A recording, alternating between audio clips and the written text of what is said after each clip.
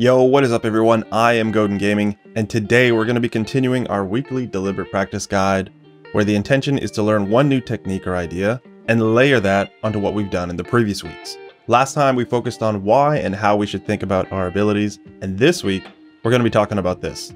Play with your team. It should come as no surprise that it's helpful to play with your team in a team-based game mode. I mean, duh. But you might not exactly know how or why you want to do that. So let's start with that, the why, since it's kind of obvious. And this is the why. Playing with your team is an advantage. We talk a lot about advantages in here for good reason. Breaking down the game into simple advantages or simple disadvantages will help you decode or decipher the game into simple ideas and then allow you to make smarter and better decisions. Like this. Grabbing heavy when no one is around? Well, heavy is an advantage, so therefore good idea. Challenging someone who is using heavy when you're alone well, that's a disadvantage for you, so bad idea. This obviously can apply to playing with your team as well. Just watch. Helping your teammate fight a single target? Well, 2v1 is an advantage, therefore good idea. Challenging two enemies on your own? Well, 1v2 is a disadvantage, therefore probably a bad idea. And that's basically it. It's pretty easy, right? And again, these are not rules, they're just like general guidelines that will help you overall. But seriously, numbers advantage and playing with your team is an easy way to win gunfights and matches. So let's go over some of the reasons that team play is an advantage. Number one, it's easier to kill your enemy. If there are two of you fighting the same target, you're essentially doubling your firepower, which means you can likely kill them faster than you would have otherwise. Number two, you'll likely live longer. Like we mentioned, your time to kill is reduced when you have two people shooting the same target. This obviously means they'll die much quicker. A side benefit of that is that the enemy can't dish out as much damage as he would have otherwise because he's dead, meaning he'll likely not have enough time to kill either of you or do as much damage. This is also because playing 2v1 basically doubles your health pool. Not to mention, you can swap enemy focus by dipping into cover for a second, wait for the enemy to shoot at your ally, then dip back out to shoot at them. So playing with your team increases the odds of your survival and your team's survival. Number 3. Momentum. Since we're more likely to take less damage or die during 2v1s, this means we can get to the next engagement much quicker, and this will ultimately lead to your team having more momentum. This is especially true if you can catch people alone when they spawn in, which is much easier to do in a smaller game mode. Shooting the same targets will also yield more super energy with assists, which means more supers and therefore even more momentum.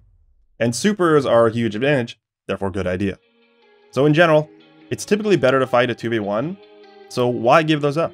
Why do your own thing and try to look for 1v1s when you could be looking for easy 2v1s? Don't give up your 2v1s, you're just giving up an advantage if you do. So those are some of the reasons why playing with your team is an advantage. Now let's talk about how we do that. Number one, lane with your team. Like we talked about in the lane next to cover video, which will be linked below, we want to be next to cover, close to our teammates, and ready to shoot the same targets. If you can't shoot the same enemy, it's not a 2v1. Sure, your ally could get into an engagement, and then later you come to the fight and you can clean up, but fighting a 2v1 is much harder than fighting two quick 1v1s. And like I mentioned in that video, this doesn't mean you want to be right on your teammate, because you don't want to block their exit. You want to be using the front and back strategy, where one of you is really close to the cover, the other person is behind and slightly off.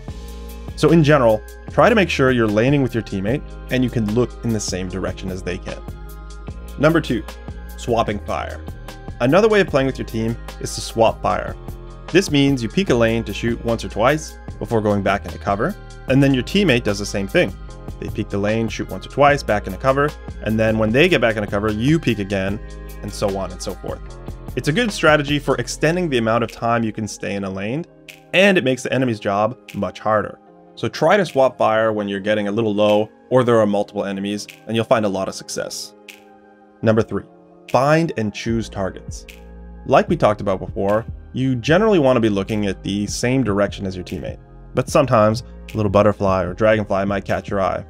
One thing you can do to make sure you're shooting at the same target is looking at the bullet trajectory, where your bullets are going and where the enemy bullets are going.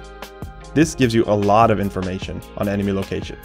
If you're on comms with your teammate, you can ideally be telling each other where the enemy is and where to shoot. You can also use this to choose which targets you should both be facing. When there are multiple enemy pings on the radar, this is really crucial. So use bullet trajectory and comms to find and choose targets. Number 4. Support. In any given moment, you typically want to be playing the role of a support player or a leader. You're either making plays and your teammates support you, or your teammates are making plays and you support them. For a lot of beginners, you might not be confident in pushing and choosing targets, and therefore you might be a better support player for now. So your best option in that case is to find a teammate and do the tips we've been discussing. This effectively can turn their bad plays into good plays.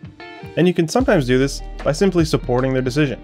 So sure, they might push into an area that's a little bit dicey, but if you let them go at it alone, they'll likely die and leave you with no help later, so it's a lose-lose. Or you could help them, and all of a sudden their seemingly bad push doesn't look so bad anymore. Now obviously this doesn't always work, but it's definitely something to think about. Ideally, you want to be helping and supporting your team, not leaving them to die. Though you can occasionally use them as bait by letting them go in first and cleaning up the enemies who are shooting at them and not you. Maybe just don't explicitly tell them in the moment that you're doing that. So support your allies' decisions as often as you can, but if you're not confident with your allies, you'll have to take the lead sometimes. That brings us to our fifth point, leading. If your teammate doesn't make pushes or decisions, then you need to take the initiative and make some for yourself. Then you have to gauge whether your teammates are helping you or not. Did they follow your lead? If he does, awesome. You can make more plays knowing you'll have support. If not, then you have to adjust your plays considering you're likely not going to get much help. Try to support as much as you can and lead if your teammates are following up with you. Number 6. Wait for your team. Sometimes playing with your team means waiting for them. This is not ideal, but it's generally better than spawning up, pushing forward instead of waiting for your team, and then dying to three enemies because you got impatient and thought you were John Wick at the 29 minute mark. You're welcome, by the way. So usually, it's just better to wait and go find your team because you don't want to be wasting what could have been a potential 2v1 or a 2v2 and instead just die. I see this a lot in small team modes. If you spawn up alone, you need to get to your team as fast as possible because they're likely playing against the numbers, so they probably need you just as much as you need them. Number 7. Peeling back. We all get into hot water sometimes. You channel your inner Titan, but then you realize you're not a Titan and you're in a position that is like way too far forward. Happens to everyone. In this situation, your best friend are your friends. They can hopefully realize that you're in a bad spot, and then they provide cover for you while you get out of there or help team shoot. This is even more important for you when the roles are reversed. If you see an ally too far ahead, try to give him some cover so that he can get out of there, or you can help him kill the person he's trying to shoot. Number 8. Finding an opening. When the match starts, especially in small game modes like Elimination and Comp, you are looking to get an easy kill in the beginning. This can often come down to posting up and seeing who gets the first sniper pick. But you can also try to out-rotate the enemy team. This means quickly moving around the map in a group until you find an enemy that's alone or even better, looking in a different direction because he was scoped in too long and didn't expect you to be there. So try to make your openings by finding a 2v1. So those are a few ways we can play with our team. Now, that's quite a lot to think about, and like I've been preaching, you kind of only want to focus on one or two things at a time. So what I would like you to do is maybe just start with the one, laning with your team. Do that for a round or two and see how it was. Were you laning with your team most of the time? And even ask yourself after you die or after you get a few kills, you know, were you laning with your team? And then moving on to the second one, swapping fire, and so on and so forth. Because remember, this is a marathon, not a sprint. The longer and more focused you are on these individual concepts, the firmer your grasp will be on these concepts. The more deliberate you are with your practice, the better the result. And it will make your next practice sessions that much better as well.